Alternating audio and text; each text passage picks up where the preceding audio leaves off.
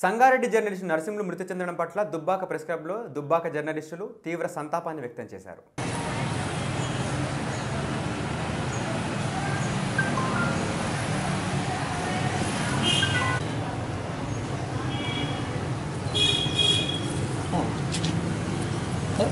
మొత్తం కనబడదు photo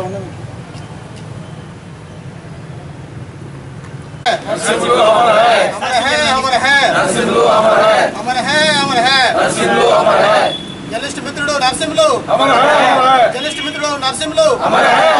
journalist మిత్రుడు నరసింహులు. ఒకసారి ఐదు నిమిషాలు ఉండు.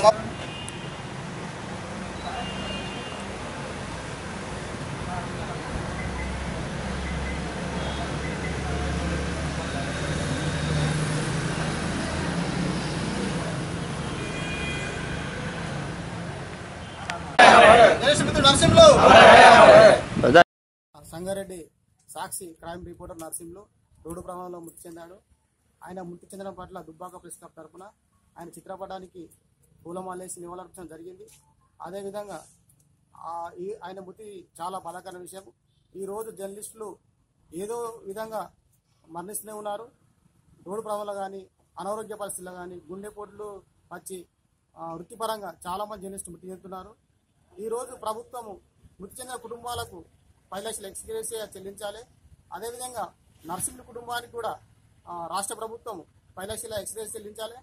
వాళ్ళ వాళ్ళ కుటుంబంలో ప్రభుత్వ ఉద్యోగం చెల్లించాలని మేము దుబ్బాక ప్ర- ప్రెస్ క్లబ్ తరఫున కోరుచున్నాము. అదేవిధంగా రోజు రోజుకు జర్నలిస్టులకు భద్రత లేకుండా పోతుంది. ప్రభుత్వం స్పందించి జర్నలిస్టుల కోసం ప్రత్యేక నిధి కేటాయించి హెల్త్ పరంగా కానీ వృత్తిపరంగా కానీ మరణించే కుటుంబాలకు పది లక్షల ఎక్స్గ్రేషియా ఖచ్చితంగా ఇవ్వాలని నేను ప్రభుత్వాన్ని డిమాండ్ చేస్తున్నాను.